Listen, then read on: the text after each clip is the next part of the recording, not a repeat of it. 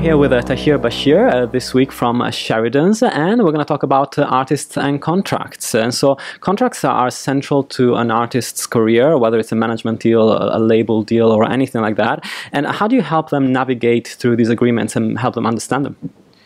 Yeah, I mean, uh, a lot of contracts are quite complicated, and, and uh, whilst uh, artists nowadays are more commercially savvy than they've ever been, uh, you know, you're still talking about legal agreements and how they fit together. So if you've got an artist now who's uh, a musician but also has other interests, uh, so maybe fashion, maybe TV, maybe film, maybe endorsements, you've got to make sure that your contracts all fit in together. It's like a matrix of arrangements.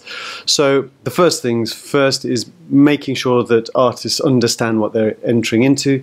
So having the skill to be able to explain things in layman's terms and simple terms and give a bit of guidance around those. Yeah, sure. And artists can be quite intimidated by you know the amount of clauses and and decisions they have to make around the deal, and so.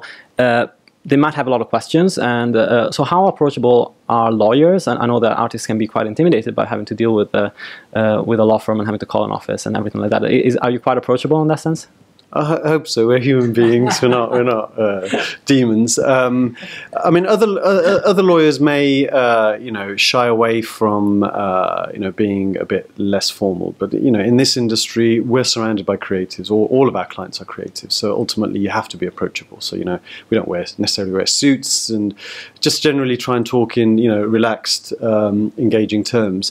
Um, so it's important that uh, you know artists feel comfortable with you because you know it's that old adage: no question is a silly question. You want the art, you know, the artist to be able to ask you questions, yeah. and you need to be able to explain it to them in, in, in simple terms. Yeah, sure. And is it quite tough to uh, stand between uh, artists, managers, or labels when you are negotiating a deal? Is there a lot of uh, toing and froing, uh, trying to get the best deal you can for your artist? There can be, yeah. Uh, I mean, the, idea is to try and simplify and shrink all of those negotiations as much as you can, because obviously the longer it runs, the more momentum you lose from a deal, the more expensive it gets. Yeah. So the idea is to try and shrink it all together. And you know, once you've got uh, when you've got enough experience, you can deal with things over the phone. You can have meetings. It doesn't always have to be email toing and froing. Sure.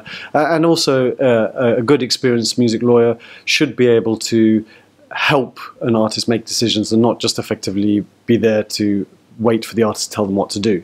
So, you know, you should be able to guide them and say, well, you know, I think you should be doing this based on what I've seen. This is reasonable. This is not reasonable. Yeah.